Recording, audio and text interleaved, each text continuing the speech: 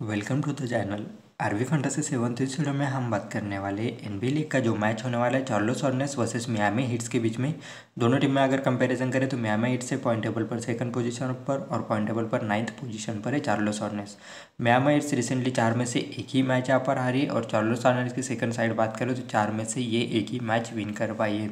लेकिन Miami Heats की तरफ़ से कुछ कमियाँ है जो कि इनकी बैंच स्ट्रेंथ है। फ़िलहाल इनकी तरफ़ से सबसे बेस्ट यहाँ पर एनबीए का टॉप स्कोर और बैंच स्कोर है जो यहाँ पर हिरर पर पर मैच ट्वेंटी पॉइंट पर गेम यहाँ पर बना रहा था। वो फ़िलहाल इंजरी के चलते खेल नहीं रहा है। यही रीज़न है कि लास्ट मैच यहाँ पर ये टीम हार कर आ रही है और थोड़ा सा इनकी बैंच स्ट्रेंथ जो है वीक है एज कंपेयर टू यहाँ पर चार्लोस ऑनर्स अदरवाइज़ इनका स्टार्टिंग लाइनअप बहुत स्ट्रांग है ऑफेंसिवली और डिफेंसिवली दोनों में यहाँ पर इस एन लीग सीज़न में वन पॉइंट पर गेम यहाँ पर ये बनाते और अपोनेंट टीम इनके अगेंस्ट बनाती वन पॉइंट यानी डिफेंस में अच्छा खासा यहाँ पर ये टीम कर रही है। तो डिफेंसिवली काफ़ी ज़्यादा हैवी टीम है मियामाइट्स बाकी कुछ इंजरी अपडेट्स भी जिनके बारे में हम वीडियो में डिस्कस करेंगे, लेकिन वीडियो स्टार्ट करने से पहले चैनल पे नए हो सब्सक्राइब कर देना। फाइनल टीम और फाइनल अपडेट के लिए टेलीग्राम चैनल से ज्वाइन हो जाना।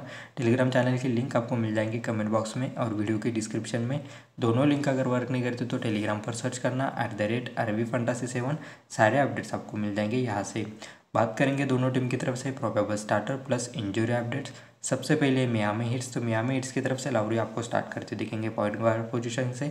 डंकन रॉबिन्सन स्टार्ट करेंगे शूटिंग गार्ड से स्मॉल फॉरवर्ड से स्टार्ट करेंगे जिमी बटलर पावर फॉरवर्ड से पीछे टकर और सेंटर से स्टार्ट करेंगे बेआमी एडुबायो ये इस टीम के यहाँ पर स्टार्टिंग लाइन है पे बैम एडबायो की तरफ़ से अगर यहाँ से बात करूँ तो इस टीम के लिए यहाँ पर फ़िलहाल ये लीडिंग स्कोरर है, क्योंकि यहाँ पर Jimmy Butler hundred percent fit नहीं है यही रीज़न है कि आज के मैच में भी इनके ऊपर गेम टाइम डिसीज़न है। प्रोबेबली खेल सकते हैं प्रोबेबली नहीं भी खेल सकते, लेकिन रिसेंटली तीनों मैचेस में इनके अगेंस्ट गेम टाइम डिसीज़न है और वो हर तीनों मैचेस यहाँ पर खेले।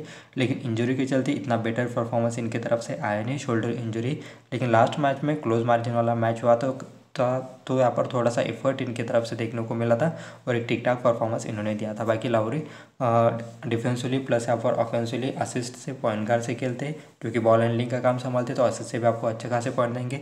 डंकन रॉबिन्सन को रिसेंटली मैचेस में टाइम मिल रहा है, उसका रीज़न मैंने बता दिया हीरो यहाँ पर इस टीम की तरफ़ से खेल नहीं रहे, जो कि बैकअप गार्ड खेलते थे मोस्टली यहाँ पर थर्टी प्लस मिनट खेलते थे, और यही रीज़न रहा कि यहाँ पर ये खेल नहीं रहे तो उनकी जगह पर डंकन रॉबिन्सन स्टार्टिंग लाइनअप में इनका टाइम इंक्रीज हुआ है, जो कि around ninety to twenty minute खेलते थे। विंसेट जो कि यहाँ पर बैकअप गार्ड खेलते इनका और मैक्स टूस का इन दोनों का टाइम यहाँ पर बैंक से रिसेंटली मैचेस में इंक्रीज हुआ है।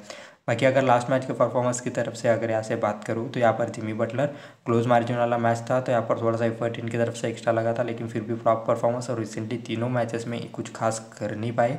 और लास्ट मैच में ठीक ठाक दिया था, लेकिन उससे पहले दोनों मैचेस फ्लॉप रहे थे। Lowry thirteen point four rebound four assist और एक स्टील के चलते एक ठीक ठाक पॉइंट देते, फिर भी यहाँ पर कंपेरेटिव रिसेंटली दोनों मैच लास्ट मैच में इतना बेटर इनकी तरफ़ से आया नहीं। फिर भी ये प्लेयर मोस्टली यहाँ पर अच्छा खासा का टाइम खेलता है और असिस्ट भी इनकी तरफ़ से थोड़े से कम आए। आप इनसे बेस्ट एक्सपेक्ट कर सकते हो। आज के मैच में अडिबाग की तरफ़ से अगर यहाँ से बात करूँ ऑफेंसिवली काफ़ी इंपॉर्टेंट यहाँ पर ये प्लेयर है। जिमी बटलर अपना हंड्रेड परसेंट दे नहीं पा रहे तो यहाँ पर यही रीज़न है कि अडिबाग ऑफेंसिवली काफ़ी ज़्यादा एक्टिवेट है और काफ़ी ज़्यादा शॉट्स भी आपको वैसे अटैम्प्ट करते हुए देखेंगे। पीजे टकर सबसे बेस्ट यहाँ पर डिफेंसिव प्लेयर है, six point six rebound last match में और एक असिस्ट की तरफ़ से आए थे डंकन रॉबिन्सन अराउंड यहाँ पर ट्वेंटी मिनट खेले थे लास्ट मैच फ्लॉप गए थे फाइव पॉइंट वन रिबाउंड और वन असिस्ट के चलते कुछ खास कर नहीं पाए। उससे पहले मैचेस में इन्होंने ठीक ठाक दिया है। सेकंड मैच में अगर यहाँ से बात करूँ seventeen point four rebound three assist और दो स्टिल के चलते अच्छा खासा परफॉर्मेंस इनके तरफ़ से आया।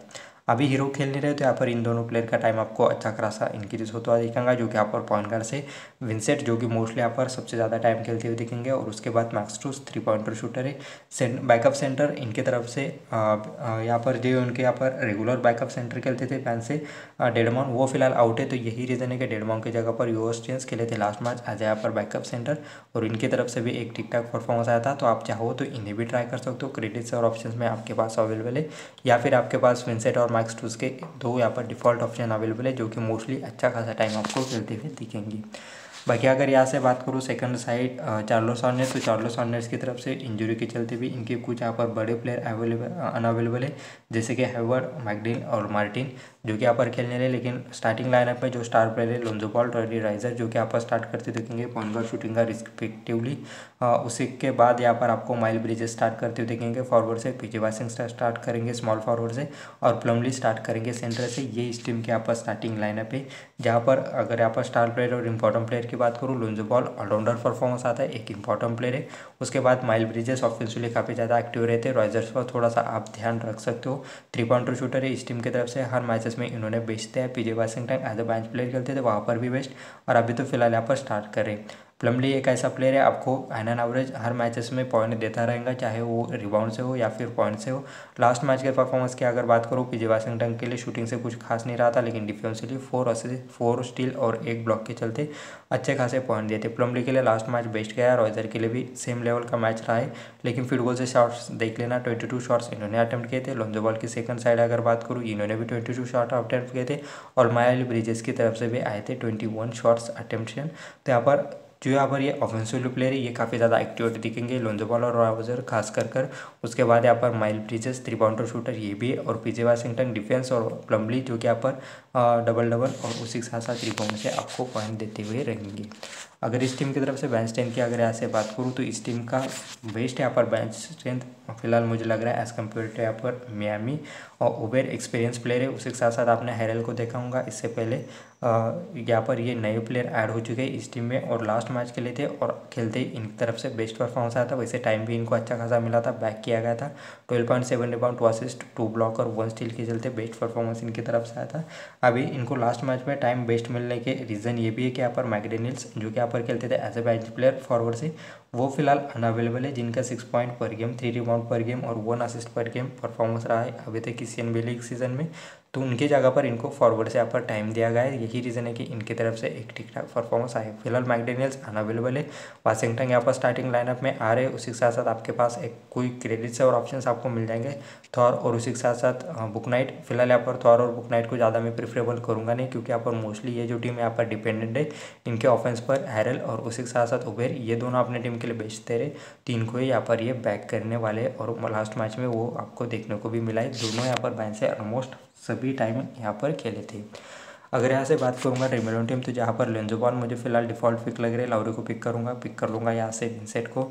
और रॉयजर्स एक डिफ़ॉल्ट पिक फ़िलहाल फिर से मुझे लग रहे उबेर को ट्राई करना है जीएल में। रॉबिन्सन आपके पास बेस्ट ऑप्शन अवेलेबल है, उन्हें ट्राई कर सकते हो। जिमी बटलर क्रेडिट मैनेज करने के लिए इन्हें मैं ड्रॉप कर कर चले जा रहा हूँ। अगर आपको उनको पिक करना है तो फिर आपको यहाँ से शायद लाउरी को ड्रॉप करना पड़ेगा। और अदर जो यहाँ पर स्टार्टिंग लाइनअप के जो प्लेयर है, जैसे कि यहाँ पर रॉयजर्स या फिर प्लम्बली जैसे बड़े प्लेयर को आपको ड्रॉप करना पड़ेगा। तो फ़िलहाल यहाँ पर जिमी बटलर को ड्रॉप करने का रिस्क ले रहा हूँ। और ये जो मेरी टीम है ऑलमोस्ट यहाँ पर फाइनल हो सकती है। जहाँ पर आपको अगर चेंजेस करना है तो विजनल लोन पर कर सकते हो। माइल ब्रिजेस को आप यहाँ पर लाहौर की जगह पर ले सकते हो, जहाँ पर आपके पास क्रेडिट अवेलेबल रहेंगे। फ़िलहाल ये कॉम्बिनेशन मुझे एक ठीक ठाक कॉम्बिनेशन लग रहा है और सेफ़ कॉम्बिनेशन भी लग रहा है। और जीएल के लिए आपको कुछ एक्सपेरिमेंट करना है तो हेरल को अपने टीम में पिक कर लेना। हेरल एक काफ़ी बढ़िया ऑफेंसिव प्लेयर है और हेरल के साथ साथ आप यहाँ पर उबेर को भी ट्राई कर सकते हो। चार्लोट्स की तरफ़ से लास्ट मैच में दोनों बेस्ट टाइम यहाँ से खेले थे। एस पी पी चॉइस की अगर यहाँ से बात करूँ तो नो डाउट लोन्जो बॉल मुझे यूनिवर्सल एस पी के लिए बेस्ट पिक लग रहे हैं और बी एम बी एडवायो एक बेस्ट पी पी चॉइस यहाँ पर फ़िलहाल मुझे लग रहे हैं। अभी यहाँ पर आप S P P P rotate भी कर सकते हो स्ट्रॉन्ग टीम के साथ जाना चाहते हो तो बी एम बी एडवायो को आप एस पी बना सकते हो और यहाँ पर आप लोन्जो बॉल को बना सकते हो एज ए पी पी ये ऑप्शन भी काफ़ी हद तक यहाँ पर से भी मोस्टली अपोनेंट यही कॉम्बिनेशन के साथ मुझे लगता है आ, आपके साथ आ जाएँगी।